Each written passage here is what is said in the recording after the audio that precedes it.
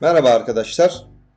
Ee, Bugün e, gene böyle basit ve programlama yaparken işinize yarayacak bir özellikten bahsedeceğiz. Ee, Invert. Ee, Nasıl yapacağız? Invert ne? İşte robotlarımızın yönü ya da işte herhangi bir özelliğini e, sıfırdan 255'e doğru değil de tersine başlatma. Yani şöyle anlatayım. Basit bir şekilde. Atıyorum robotlarımız burada. Bunların yönleri ya da herhangi bir e, özelliğini ters çevirmek istiyorsanız e, şöyle bir yol izlemeniz gerekiyor. Atıyorum işte şurada ne var? 4. 4 de burada robotum var. Düz bir pozisyona alayım. Ampullerini açayım. Ben bunlara pan yaptığımda farklı yönlere dönsün ya da simetrik çalışsın ya da aynı yönde çalışsın istiyorum ya da robotu ters astınız.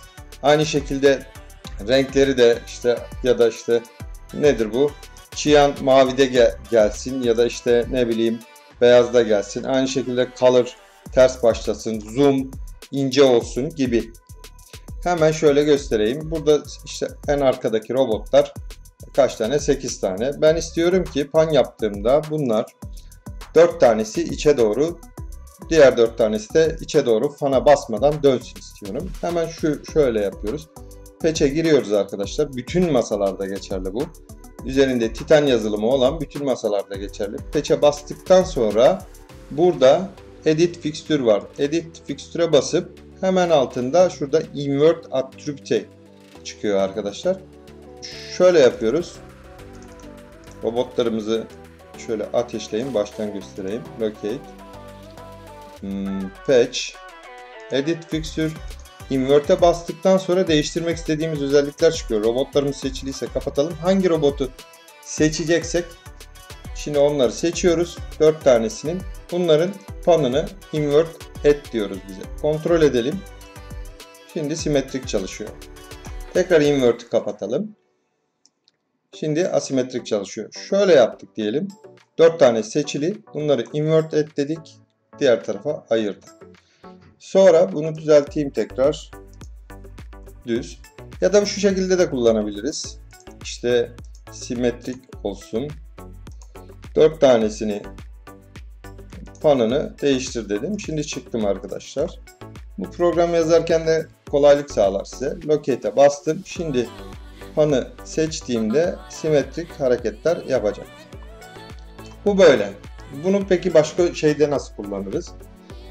Atıyorum zoom böyle 100 ya da 0. Ee, şöyle tekrar aynı şekilde patch edit fixture invert attribute zoom'a gelelim buradan. Zoom şu 4 robotumun belirgin olsun diye zoom'u ters çalışsın istiyorum. Açtım. Tekrar pardon çıkmamış önünden. Açtım. Locate ettim. Şimdi zoom yaptığımda yarısı şey yarısı farklı yapacak arkadaşlar. Hmm, diğer bütün özelliklerde de aynı şekilde kullanabiliriz.